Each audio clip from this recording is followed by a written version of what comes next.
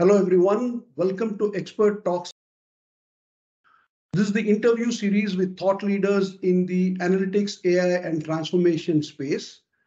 My name is Mahadevan Iyer, Maha for short. I'm your host for today. I'm the co-founder and CEO of Marketplace for On-Demand Analytics Services. Our guest for today is Gary Cokins. Gary is an internationally acclaimed expert, speaker, and author. Gary is the founder and CEO of analytics-based performance management. His company is based in South Carolina in USA. Gary started his career as a finance professional and was a finance controller with a division of one of the Fortune 500 companies in US. He has authored many books on activity-based costing and corporate and enterprise performance management. Gary also has had the good fortune of working with Harvard Business School professors, Dr. Robert Kaplan and David Norton, who are the creators of uh, Balanced Scorecard. He's also a co-author of a book called Predictive Business Analytics. Gary, it's a pleasure having you here on this Expert Talks interview. Thank you so much for making time. My pleasure, Maha. Thank you for inviting me. So, uh, Gary, tell us something about your career, the advancement in your roles, and how did analytics happen there? I've already had a successful 40 year career. It also included, you mentioned earlier in my career, uh, age 27, I was a financial division controller, but then I spent about 35 years as a consultant with Deloitte, then KPMG, uh, then EDS, Electronic Data Systems, which is now part of Hewlett Packard. And then I was 16 years with SAS. Many people don't recognize who's SAS, the SAS Institute. It's actually the world's largest privately owned software vendor uh, in analytics, 15,000 employees, kind of like the major data science uh, company. I think careers have a lot more to do with luck and circumstances than being smart and competent. And I had a lucky break when uh, in 1988, KPMG struck an exclusive contract with Harvard Business School professor Robert S. Kaplan, who you mentioned. Um, and I'll talk a little bit about balanced scorecard, but he did the early pioneering work in a method in management accounting called activity based costing. I got recruited. I implemented this ABC, that's its acronym, for five years. I then wrote a book, and that led to many more books. So, and I'm not encouraging any of your attendees to go buy my books, but if you go to wiley.com or Amazon, usually chapter one's a free download. So, again, thank okay. you for uh, inviting me. Oh, my undergraduate degree, industrial engineering and operations research from Cornell University, and I got my MBA at Northwestern University's Kellogg uh, School of uh, Management. Oh, nice. Okay. So, Gary, there is an increasing level of uh, interest when it comes to analytics in enterprise and uh, you know corporate uh, performance management. So, so what are the uh, some of the reasons? How do you see organizations adopting this? If you can expand a little more on that. Yeah, well, there's several reasons. These are what's caused the interest in them. And this is going to take me two, three minutes. I kind of go through a list. The first one is executives' frustration with strategy failure. They're quite good at formulating the strategy, or they'll bring in a high end consulting firm to help them. Their frustration is failure to successfully implement it. And there's some empirical evidence on this. Uh, I was raised in Chicago, coincidentally. There's a Chicago based executive recruiting firm, Challenger Gray and Christmas, they monitor the involuntary turnover of CEOs, firing of CEOs.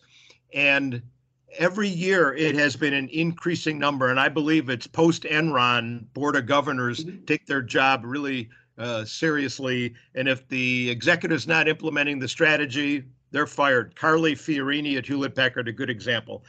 A second cause increased accountability. Today, there is mm-hmm. no place to hide. Managers and mm-hmm. employees will be monitored, they will be measured. It doesn't necessarily mean their jobs are at risk, but it could mm-hmm. adversely impact their salary increases and job promotions. Next, more rapid decision making. You know, unlike a few years ago, you could test and learn and have meetings in conference rooms. Today, people are on the phone, go or no go, yes or no. They need to make a decision in real time. They almost wish an executive was sitting next to them saying, What should my decision be? Fourth, mistrust of the management accounting system for accuracy and transparency. You know, quite frankly, most managers don't trust the internal management accounting system and it has to do with this overhead alloc- cost allocations. It's correctly called indirect expense compared to direct expense. And in many organizations, the indirect can be 50% of the expenses. And the problem there is the accountants, they kind of get lazy. They take this overhead and they spread it like butter across bread to do product costing or service costing and the like. And of course, it's inaccurate. The solution there is this technique called activity based costing. Next, poor customer value management. You know, the reality is customers are the source of financial wealth creation for shareholders and, and owners. And we really need to connect how the measurements of customer to shareholder are. The problem is the accountants do not calculate customer profitability.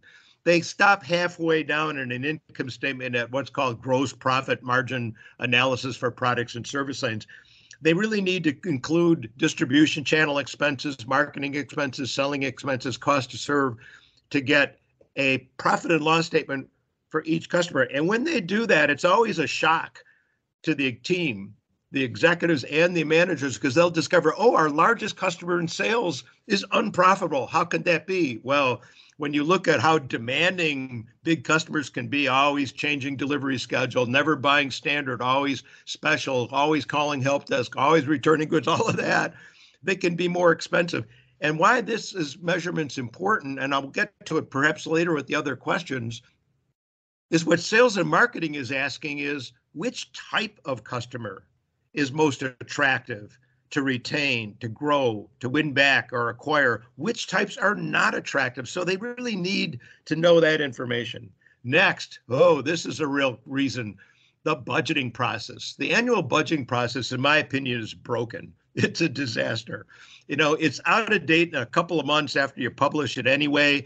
It caves into the loudest voice and strongest muscle of the veteran sandbagging, you know, managers who know how to basically deal with it.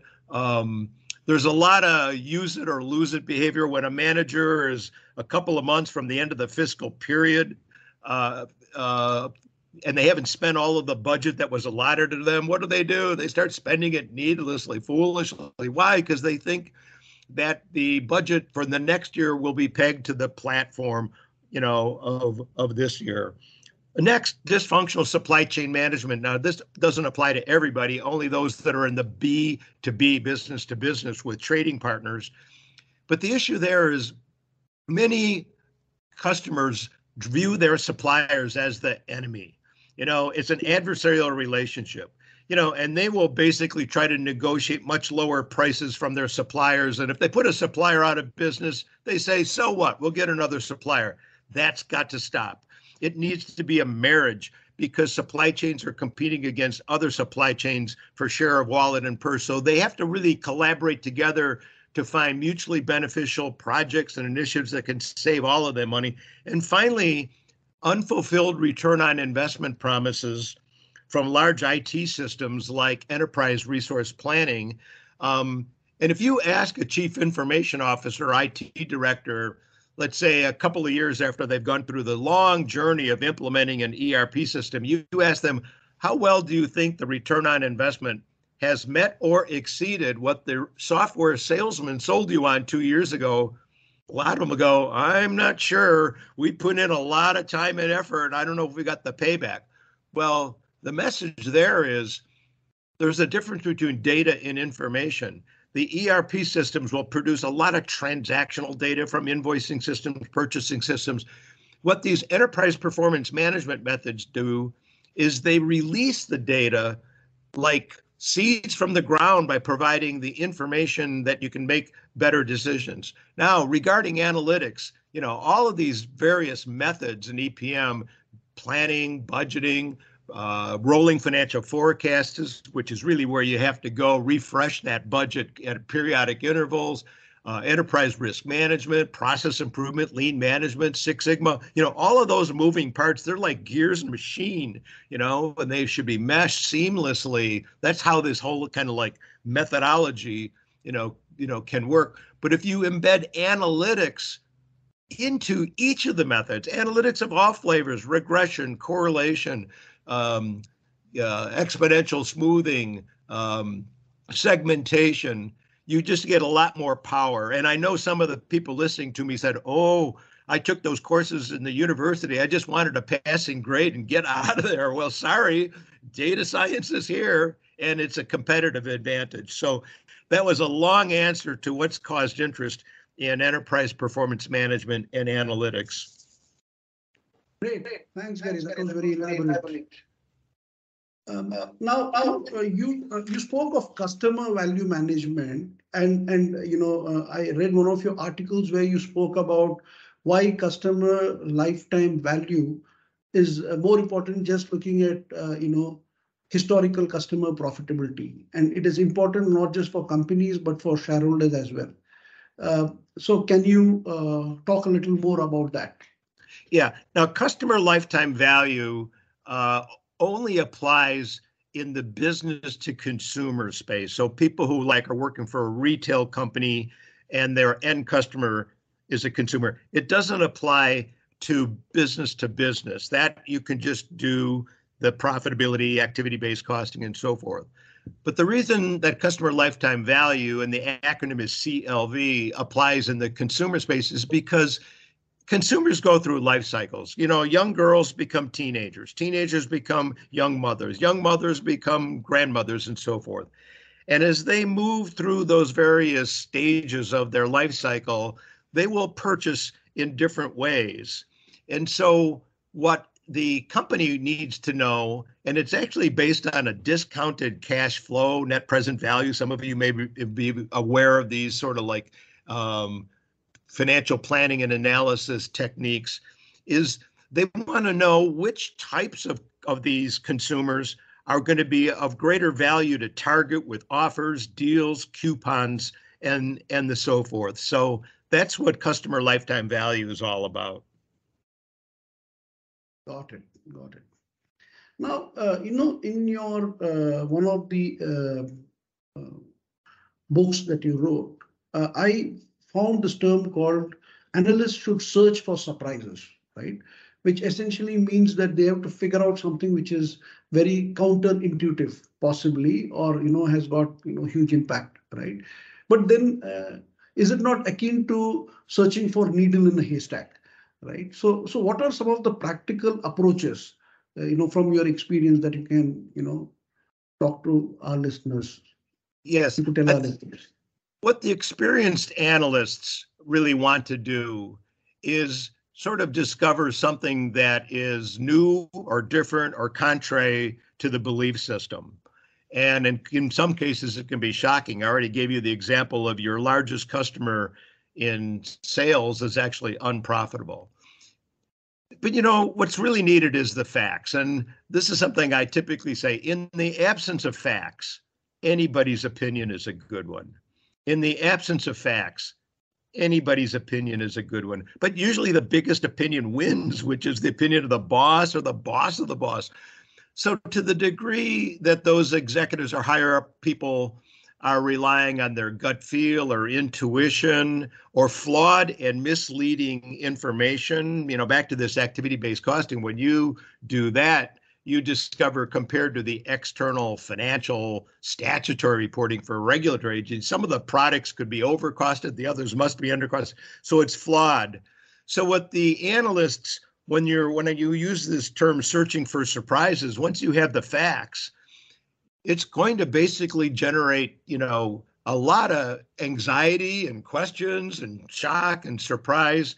But that's important because what you're really doing is you're surfacing problems and or opportunities. So you know experienced analysts they're pretty good at it. And you know and they'll make they'll basically try to fail fast. What i mean by that is they'll have a hypothesis um, and they'll search it out see if it works move on to the next one. You know in the us we have a credit card company called capital one. I'm told they do hundreds of experiments all the time. They send out mailers. Is it on yellow paper? Is it on blue paper? Is the font size big? Is it small? And then they'll see how much of a hit or you know reaction from it. So that's what good analysts do. Okay, nice. Now you spoke of uh, you know uh, when it comes to transformation, you used uh, a terminology called D into V into uh, F should be greater than R, R standing for resistance to change, right? Uh, so if you could just explain what is D, V, and F, and you know give practical examples of how does one assess that, and you know how does one then move the needle so that you know resistance can be overcome and transformation can happen. Yeah. Well, let me give just a little bit of background about re- resistance to change, which is human nature. I'm very frustrated, as are others, with the slow adoption rate of many of these methods I described. Activity based costing, maybe 5% of companies use it when, in the 95 where it applies, should be using it. But the slow ado- same thing with balanced scorecards and strategy maps and KPIs. The problem is has really little to do with technology or systems or software. Um, it's really about people. And resistance to change is human nature. You know, only babies like change. I like to say, you know, changing of diapers. And, and other obstacles are fear of others knowing the truth, or fear of being measured, or fear of being held accountable, um, or even weak leadership. There, I said it. You know, not every executive team's got the highest IQ. So, how do you overcome resistance? Well, this formula, it's actually a multiplicative formula. It's D times V times F. The three of them must be greater than R. And you know, to create change, you got to create the need for change. So you're asking, what's D, V, and F? D stands for discomfort with the current state unless someone has dissatisfaction, they don't care. If they do have pain, then they're going to look for V, the vision, a vision of what better looks like, the solution. So you'd think if I've got big pain, big D in abundance, and I've got solutions like these enterprise performance management, I'm going to overcome the resistance. Ah, but F is the sleeper. F stands for first practical steps. Because if they believe your solution is overly theoretical, impractical, unaffordable, they're not going to basically continue. So, to put this into context of decision making, and I'll even apply it to myself. Um, I used to, when I was earlier in my career, like, well, I have all this education and knowledge, you know, I kind of like show off. I realized no. D comes from asking questions. You know, the Greek philosopher Socrates, the Socratic method. He would you turn to so examples of questions of the executives. Does everybody understand your strategy? Do we know where we make or lose money profitably? You know, are we measuring the right things? Things like that to kind of create what we call fear, uncertainty, and doubt, FUD, F U D, in the executives. And if you create that discomfort, they're going to say, "Well, yeah, how do how do we explain?" They I don't understand. The managers don't understand the strategy. Well, there's the balanced scorecard strategy map, Kaplan Norton. You can do that. So that's where the the the V comes in. F. I have techniques, and if the people are interested in, I should I'll give you my email address to communicate with me. It's G Cokins, G C O K I N S, at Gary Cokins. I've been training consultants and CPA firms how to implement these methods using a technique called rapid prototyping with iterative remodeling. You, it starts off with a workshop, some people in the room, managers. You build a model quickly in a day. Next day, you bring in executives, aligned managers. They see it. Light bulbs go on with everybody. Oh, that's how that works. They're going to get buy in a couple of iterations and you've got a permanent repeatable production system not six months you know to a year and that is an effective way of the first practical steps it dispels all these rumors oh it's too big it's too complex we can't afford it you can get to results you know relatively quickly i'm i'm an 80 20 guy you know the pareto's law you know speed to results uh, uh, and when it comes to like cost accounting with ABC, our phrase is it's better to be approximately correct than precisely inaccurate. You know, mo- most accountants are so hung up on precision and detail, even though they're using flawed methods. So, so that's the D times V times F uh, is greater than our formula. Oh, nice. So, so essentially, also that that helps in creating or building a narrative to get a buy-in from leadership, right? So you tell them what is flawed right now. Uh, you know, talk of vision of what great can be and then you know practical next steps in terms of saying that you know you can see some sort of a needle moving in in a more practical you know easy to move manner and you know that gives them a comfort saying that uh, you know there is obviously something positive or a pot of gold at the end of this particular you know initiative and that gets a buy-in from them. Yes. Okay. nice. So you, uh, I also read somewhere where you've spoken saying that uh, analysts uh, should beyond, you know, trying to explain the what uh, of, of a problem, they need to then explain the so what and then what, uh, right? Uh, yeah, so we use different terms for the way we explain this, but I just thought this what, so what, and then what was very easy to remember and connect to. So, you know, with some practical examples, if you could just explain to us uh, what, so what, and then what in any practical uh, problem that you have solved. Well, examples of answering what is really many of the different methods, you know, cost accounting, measuring, uh, analytics, uh, regression, correlation. So you can see things. It's all of a sudden like, oh, now I understand what happened. Okay but that's through the rear view mirror you know it's what happened last week last month last quarter last year and you know and so forth when you use these epm enterprise performance management methods and analytics there's so much visibility there's so much stuff is seen i mean it's like it's it's like a flood of information but that's good but at least then you have to ask the question well what's relevant in all of this. So this is answers. We got the so what, you know, I see all this. So what? Well, this, this, that, that makes sense and so forth. But arguably, the then what is the more important question because all decisions only impact the future. Now we're going through the car windshield. And when you go through the windshield, when you start doing forward looking things, predictive, you mentioned that I co-authored a book, Predictive Business Analytics. It's in Wiley. Uh, I did it many years ago. In fact, when I co-authored it with my co-author, I thought, oh, well, that's Mount Everest on the stages of maturity. You know, that kind of goes from descriptive to diagnostic to predictive. That's as high as it can go.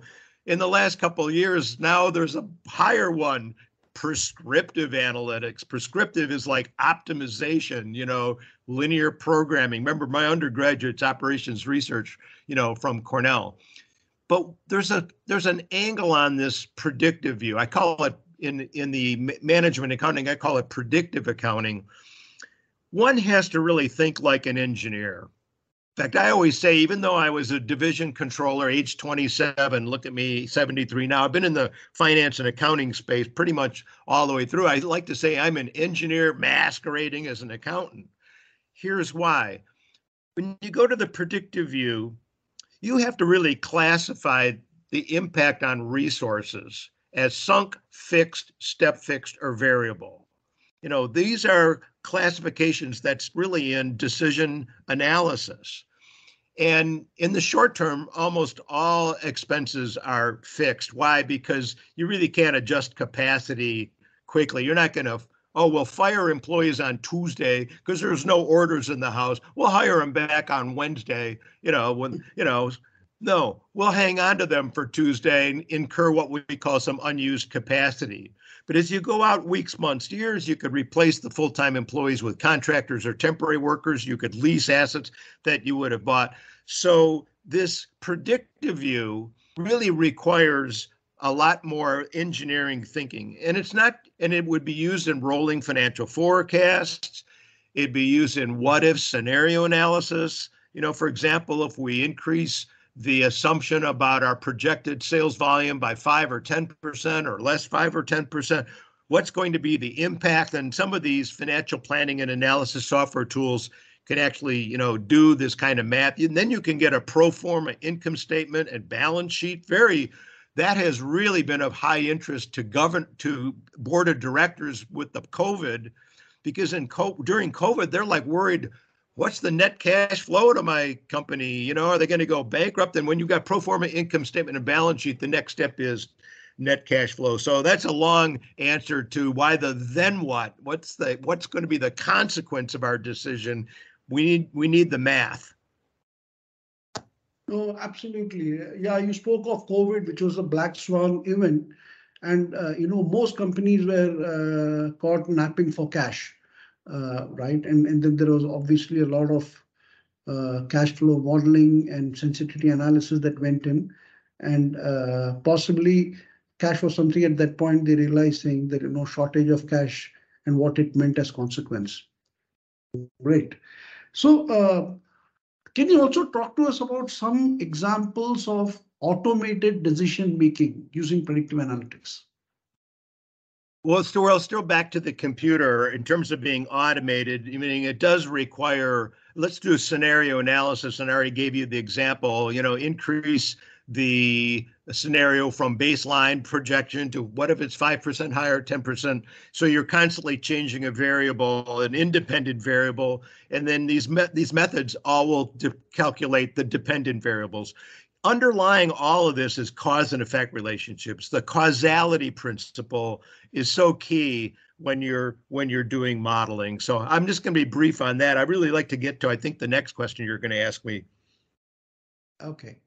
So, uh, you know, uh, one is talking of the future of AI, you know, chat GPT-3 is happening. Uh, a lot of low code and no code platforms are coming on the AI side of it, uh, right? And one believes that if you have context, you don't need to have a lot of programming and data analysis skills because if you know what to ask and how to ask, maybe it can solve problems. On the other side, there is a future of work which is emerging a lot of freelancer migration is happening. People want to work when they want to work, where they want to work from, and you know uh, that type of stuff, and wherever they are, right?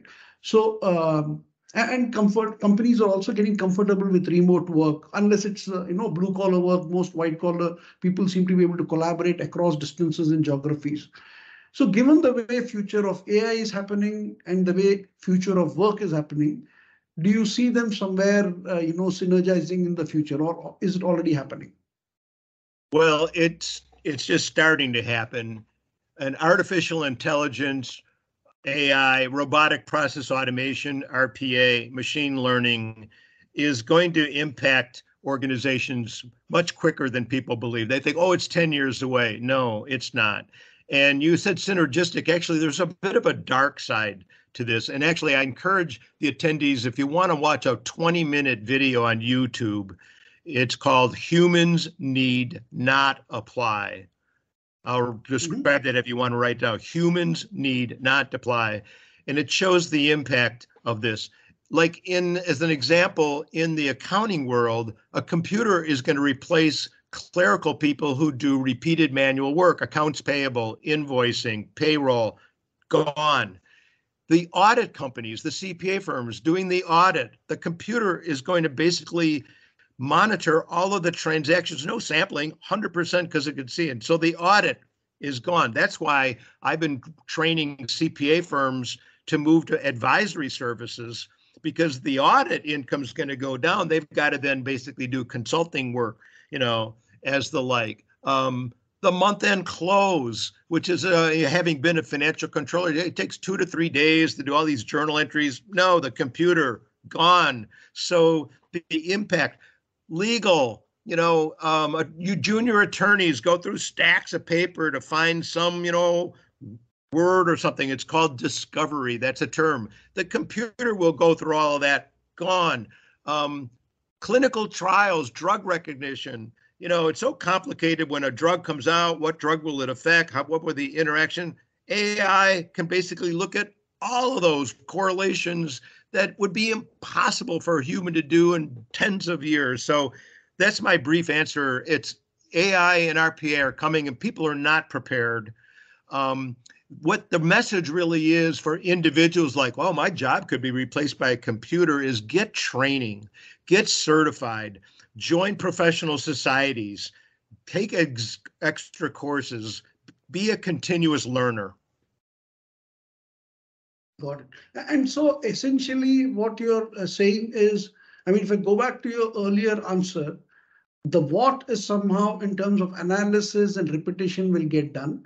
Uh, but people who are able to get the context to say, so what, and then suggest the then what, are the people who are going to have, uh, you know, continuous employment stuff to do uh, and, and uh, contribute to business growth. Am I right in understanding that? You're absolutely correct. okay. So, um, so you have worked with a lot of organizations, Gary, and uh, you know you would have obviously spoke to, spoken to them about the methodologies and approaches that you spoke about today. Uh, what is the one major lesson that these organizations would have learned uh, when you know working with you and following the approaches? Well, one of the things that I think management teams and employees start realizing is the importance of good leadership. Now I'm talking about the executives at the top. And I'm not an expert in leadership and I've not read there's hundreds of books on, you know, leadership, but this is my observation. In the past, the best leaders and best executives had the best answers. Today, I don't think that's the case. Today, I think the best leaders and best executives have the best questions. There's too much volatility. There's too much uncertainty. There's too much complexity for them to rely on their gut feel or intuition or the types of answers they had successfully earlier in their career to get them promoted to the top. They need to create a culture of investigation and discovery which is where data science and analytics, you know, comes into play, and tolerance for making mistakes, as long as you learn from your mistakes. So my one lesson um, the other one is overcoming resistance to change. That's another important lesson. And being using rapid prototyping, quick methods. I call it crawl, walk, run, fly, soar. I'll say that again crawl, walk, run, fly. soar. start small, think big, you know, because uh, you'll basically get experience when you go through iterations and, you know, then within a few weeks or shortly you'll have these systems in place. But my my major observation uh, or um, lesson learned is you got to have executives that are don't think they have all the answers, but they will create solutions by asking people good questions. Excellent. No, very nicely articulated. Gary, thank you so much for making time. It's been a pleasure talking to you and listening to your insightful answers.